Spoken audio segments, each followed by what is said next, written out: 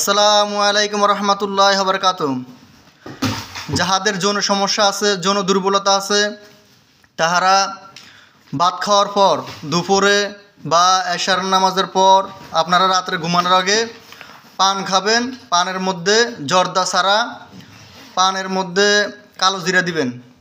রাসুল সাল্লাহ সাল্লাম বলেছেন, এই কালো জিরা মৃত্যু ছাড়া সমস্ত রোগের ওষুধ তাই এই কালো জিরাকে আপনি ইচ্ছে করলে কাঁচাও খেতে পারেন, বাজার থেকে কিনে এনে বা একটু টালবেন, আগুনের মধ্যে, কড়াইয়ের মধ্যে দিয়ে পাঁচ মিনিট টালার পর ঠান্ডা হলে এরকম বোতলে করে রেখে দিবেন। তারপর কালো পানের সাথে কালো জিরা দিয়ে, অল্প অল্প করে কালো জিরা দিয়ে তারপর আপনি খাবেন। ইনশাল্লাহ আপনাদের যদি যৌন সমস্যা থাকে, এর মধ্যে অনেক কার্যকারিতা আছে এবং অনেক শক্তি আল্লাহ তালা আপনাকে দান করবে।